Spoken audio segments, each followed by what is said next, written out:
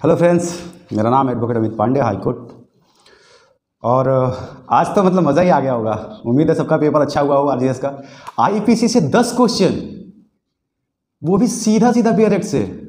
यार, इसीलिए कहता हूँ बार बार आप सबसे कि आईपीसी बियर एक्ट एकदम चाट जाओ।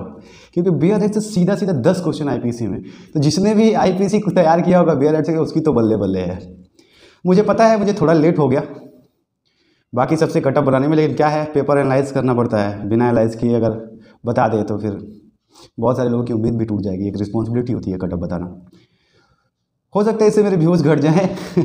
हो भी सकता है घट जाए, क्योंकि जल्दी नहीं बना पाया, लेकिन थोड़ा पेपर को एनालाइज करने में टाइम लग गया था। तो आइए देखते हैं कट ऑफ़ क्या है। देखिए, इस बार का जो पहले पेपर समझिए कि इस बार पेपर आया कैसे था। इस बार देखिए, पहली बार ऐसा हुआ ना कि सीआरपीसी से कम क्वेश्चन आया और आईपीसी से ज़्यादा आ गया। सीआरपीसी से आठ क्वेश्चन आए और आईपीसी से दस क्वेश्चन आ गए। केस लॉ पिछली बार चार पाँच आए थे। 2019 में इस बार चार ही आए केस लॉज सॉरी चार, पिछली बार चार आए थे, इस बार एक ही केस लॉ आया, वो भी सीआरपीसी से आया। उम्मीद है वो आप लोगों ने सही किया होगा। तो पिछली बार की अपेक्षा में और इस बार की इंग्लिश जो थी इंग्लिश थोड़ा टफ थी पिछली बार से। अगर लैंग्वेज की बात करते हिंदी तो ईजी था, पर इंग्लिश थोड़ा सा टफ टफ था। क्वेश्चंस देखे तो कॉन्स्टिट्यूशन से भी पाँच क्वेश्चन आए थे। और एविडेंस से भी छः क्वेश्चन आए थे। तीन क्वेश्चन आ गए थे आपके टीपीए से। एसआरए से भी तीन क्वेश्चन आ गए थे। कॉन्ट्रैक्ट से चार आए थे। लिमिटेशन से चार आए थे। तो कुल मिला जुला के इस बार कोई भी सेक्टर जो था ना अनटचेबल नहीं था। हर जगह से पोस्को से भी तीन क्वेश्चन ले लिया था। पॉक्सो एक्स से। फिर उसके बाद से सेक्सुअल हरासमेंट का भी एक क्वेश्चन ले लिया था। तो इस बार पूरा का पूरा डायमेंशन कवर किया है।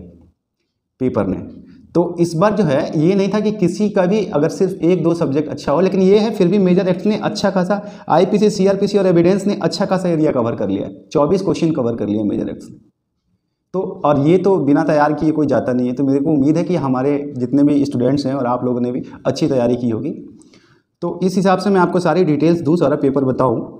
कि कैसे था और क्या होगा कटअप इस बार का? पिछली बार तो मान लीजिए साठ नंबर पे जनरल का सिलेक्शन हो गया था एससी का फोर्टी टू पे हो गया था एसटी का फोर्टी वन पे हो गया था ओबीसी का भी फिफ्टी फोर पे हो गया था। तो मैं बताऊँ इस बार का आपका क्या कटअप होगा? उससे पहले एक बात बता बोलता हूँ। तो ये बोलना थोड़ा अकवर्ड लगता है, लेकिन देखिए यार, मैं कोशिश करता हूँ अच्छे कंटेंट्स आपको दूँ अच्छा रिसर्च करना पड़ता है, आपको बताता हूँ, या फिर हम सब अच्छी चीज़ें लाते हैं। फिर भी आप वीडियोस देखते हैं सब्सक्राइब नहीं करते हैं, हमें बुरा लगता है कि मतलब फालतू फालतू चीज़ों को लोग एक्सेप्ट करते हैं और एक अच्छी चीज़ को भी अप्रिसिएट नहीं करते हैं। तो मेरा रिक्वेस्ट है, अगर पॉसिबल हो तो आप अप्रिसिएट करें अदरवाइज़ कोई बात नहीं। थोड़ा अकवर्ड है बोलना। थैंक यू चलिए, देखते हैं। तो इस बार जो था सीपीसी से भी पाँच क्वेश्चन आए थे टीपीए से तीन क्वेश्चन आ गए थे लिमिटेशन से आ गए थे। तो इस हिसाब से अगर देखें तो पेपर का जो सीनेरियो देखें हाँ इसमें सबसे बड़ी प्रॉब्लम इस बार ये हो गई है कि 2019 में सीट जो थी, वो एक सीट थी। 197 सीट्स थी। लेकिन इस बार सीट भी कम हो गई है, इस बार 120 सीट हो गई है। तो 70 सीट का तो आपको ऐसे ही नुकसान हो गया। सत्तर के अस्सी सीट समझ लीजिए सेवेंटी सेवन सीट्स का। और कैंडिडेट भी पिछली बार से बढ़ गए तो आपके दिल में थोड़ा सा बुरा लग सकता है, पर कटअप पिछली बार से नीचे तो नहीं जाएगी। पिछली बार से नीचे तो नहीं जाएगी कटअप। मेरे हिसाब से अगर सेफ़ स्कोर सोचा जाए तो 62 टू 65 जिसके आ रहे हैं ना, वो सेफ़ स्कोर में है जनरल में। मतलब 62 से प्लस ही होना चाहिए। कम से कम दो तीन नंबर तो बढ़ जाएगा, क्योंकि देखिए डायरेक्ट क्वेश्चन से बियर एक्ट से। तो उस हिसाब से जिसने भी और ज़्यादातर जुडिशरी की प्रिपरेशन करने वाले बेयर एक्ट तो पूरा पी ही जाते हैं। तो इसलिए बेयर एक्ट से सीधा सीधा क्वेश्चन आया है, उन्होंने दागे होंगे जवाब। इंग्लिश ही थोड़ा रोक सकती है आरजीएस में राजस्थान के लोगों को, क्योंकि थोड़ी सी अपने राजस्थान के बच्चों की थोड़ी सी, अपन लोगों की थोड़ी इंग्लिश थोड़ी वीक होती है। तो उसमें थोड़ा सा पेपर जो टफ आया था बट ओवरऑल जो है ना sixty five number sixty two to sixty five होगा जनरल का। फोर्टी फोर नंबर के आसपास में एससी का हो जाएगा। एसटी का फोर्टी थ्री के आसपास में आना चाहिए कटअप और ओबीसी का करीब फिफ्टी सिक्स फिफ्टी सेवन पे कटअप रहेगा इस बार। उम्मीद है कि यही कटअप रहेगा क्योंकि पूरा पेपर एनालाइज किया है मैंने। क्वेश्चन की आंसर की भी बहुत जल्दी पब्लिश कर दी कर दी जाएगी। टीम लगी हुई है तो ऑलमोस्ट हो ही चुका है शायद। हो चुका है? हो चुका है क्या? ऑलमोस्ट हो ही चुका है, जल्दी ही जाएगा। आप चैनल को अगर पॉसिबल हो तो सब्सक्राइब कीजिए, हमें भी अप्रिसिएट कीजिए। अच्छा लगता है अगर आप साथ में रहते हैं तो। तो ये थी कटअप इस बार की। और यही होनी चाहिए। अगर आप 62 के ऊपर है जर्नल में तो आप मान के चलिए कि आपके सिलेक्शन हो जाएँगे।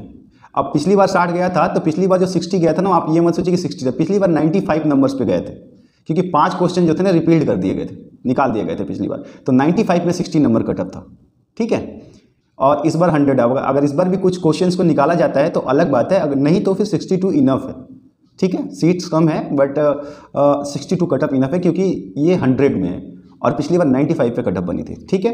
तो 62 कट ऑफ़ मान के चलिए जनरल का और ओबीसी का मान के चलिए 56 57 एसटी एससी का 45 मान के चलिए और एसटी का 42 या 43 मान के चलिए, ठीक है? आप सबको ऑल द बेस्ट है। आई होप कि कट ऑफ़ और डाउन जाए और आप सबका सिलेक्शन हो जाए, ठीक है? मिलते हैं फिर आगे। नमस्कार।